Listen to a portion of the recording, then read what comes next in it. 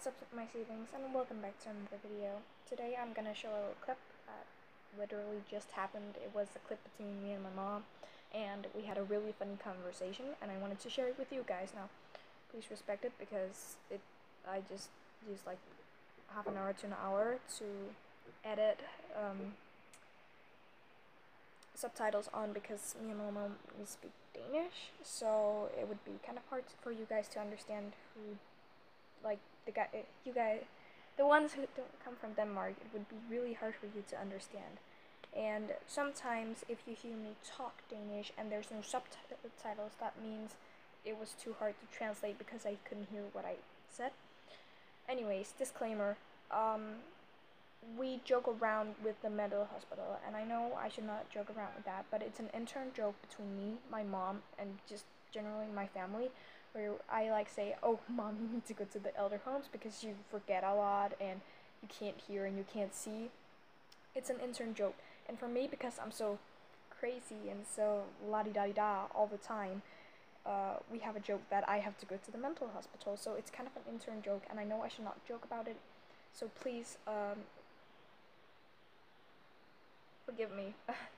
but um, without further further ado please enjoy this video and um, yeah I hope you guys are on my side with food because I love food. So yeah please enjoy it and also subscribe and become one of the seedlings today. I don't care if you like I seriously don't but please subscribe. So yeah. Become one of the seedlings today. Also I'm just gonna show you guys my little kitty. This is Garfield. And you have not seen him yet and it's very dark outside, but he's laying on my piano right now. I just wanted to show you guys how pretty he is and how much he wants attention and wants to get out. So I'm just gonna let him out and you guys are gonna see his butt. Oh yeah, because I can freaking move. Now he's leaving. Bye bye. He's gonna come back soon, so yeah. That was my cat. Mor, det er sgu da klart, jeg siger fodstol. For det er sgu da en stol til din fod. Nej, men der er noget ryglæn. En skammel. Tro mig. Jamen, det, det er fordi, jeg kom til at tænke på, at det er jo en lille stol til dine fødder. Du har taget hul på et par sokker, hva'? Ja. skal du Det er også... altså ikke kartoffelsæson nu. Skal du smage min kartoffel? Ikke kartoffelsæson. Men mor, helt ærligt, det er fordi, jeg kom til at tænke på, at det er en lille, en lille stol til en skammel, ikke og, og øhm, men der er jo En lille stol til en skammel. Hvad sker der for dig? Sige en lille stol til din, til din, til din, til din, til, til din, til din skammel. til din fucking fod. Du er... Men så kom jeg til at komme, at Du der er ikke tosset. så kom jeg til at komme, at der ikke er noget ryglæn på. En fodskammel, mor. En, en, en skammel til din... En skammel til din sko. Hvad var det, jeg sagde?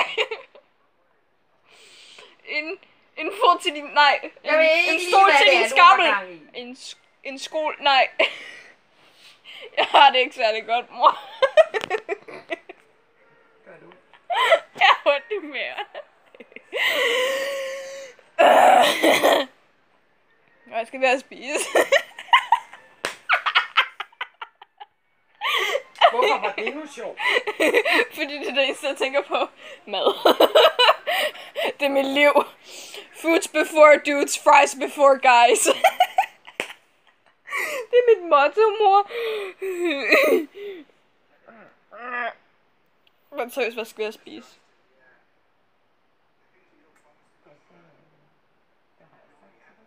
Nej, vi skal have tilapiafisk.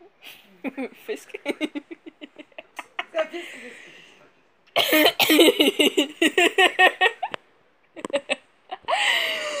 Jeg får ondt i mor. Jeg har det ikke særlig godt. Mor, jeg tror, jeg skal på mentalt sygehus, eller hvad fanden det hedder.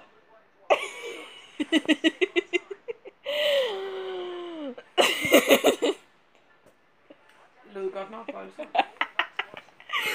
Det er ligesom, du skal på demenshjemmet, og jeg skal hmm, i et mentalt sygehus, hvor de har stol til dine skamler.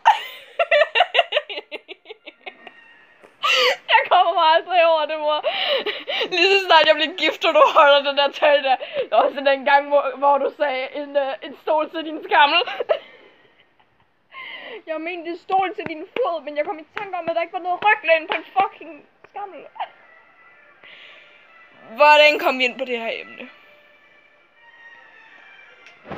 Wilbur. Jeg brugte Wilbur som en skammel.